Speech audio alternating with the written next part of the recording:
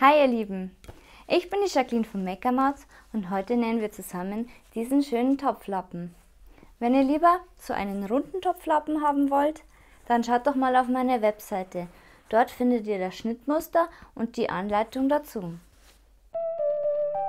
Makermaus Sewing Nähen mit der Maus Topflappen sind in jeder Küche unentbehrlich, um seine Finger zu schützen. Die kleinen Helfer sind schnell und einfach genäht und eine wunderbare Geschenkidee. Das Quilting sorgt für eine bessere Haltbarkeit und Griffigkeit. Ganz wichtig dabei ist, dass du Stoffe aus 100% Baumwolle verwendest. Dank der Aufhängeschleife ist der Topflappen schnell aufgehängt.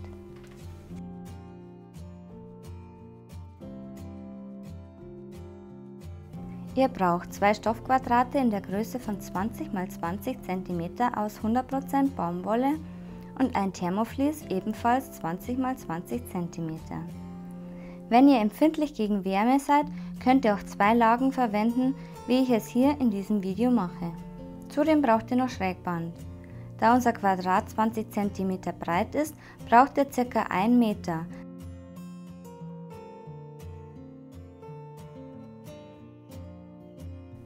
Lege die drei bzw. vier Teile aufeinander.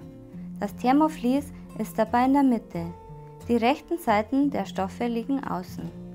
Steckt die Teile mit Stecknadeln fest. Wenn euer Zuschnitt nicht ganz bündig ist, macht das nichts, da wir diesen später begradigen können. Damit die Stofflagen zusammenhalten, steppen wir sie mit einem Rautenmuster fest. Dazu zeichnet ihr euch von einer Ecke zur anderen einen Strich und auf der anderen Seite genauso.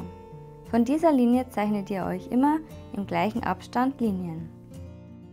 Da mein Muster aber hier so eindeutige Linien hat, spare ich mir das Einzeichnen.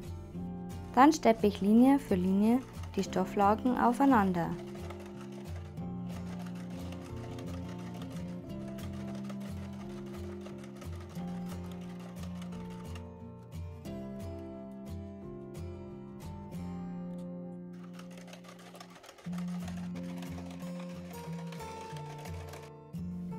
Wenn ihr alle genäht habt, begradigen wir noch die Enden mit der Schneiderschere. Im nächsten Schritt nähen wir das Schrägband an. Dazu faltest du das Schrägband auseinander und steckst es mit der rechten Seite bündig an eine Kante.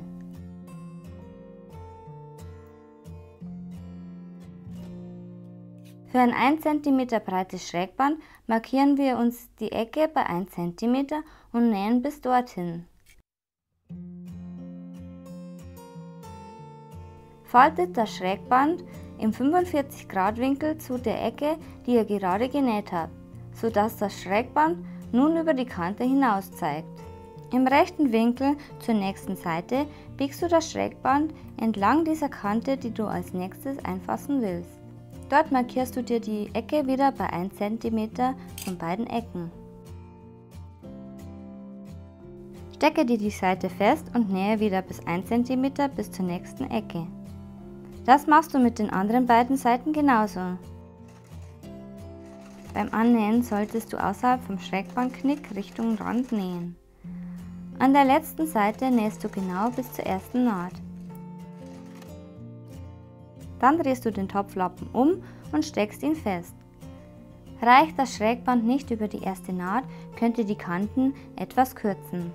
Eine ausführliche Beschreibung findet ihr in meinem Schrägband annähen Video, das ich euch in die Beschreibung verlinke.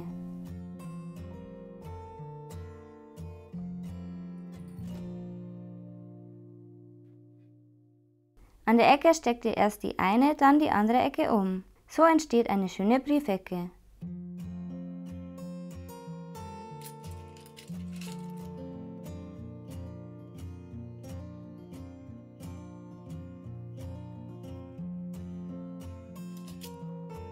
Am Ende angekommen, formen wir uns die Schlaufe, indem wir erst das Schrägband mittig biegen und das Ende einschlagen.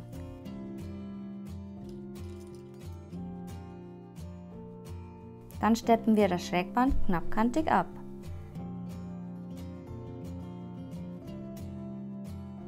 Wir biegen uns die Schlaufe zurecht und nähen diese noch an.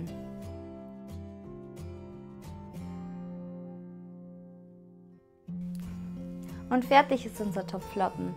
Wenn euch das Video gefallen hat, lasst mir doch einen Daumen nach oben da und abonniert meinen Kanal, um keine Nähvideos mehr zu verpassen.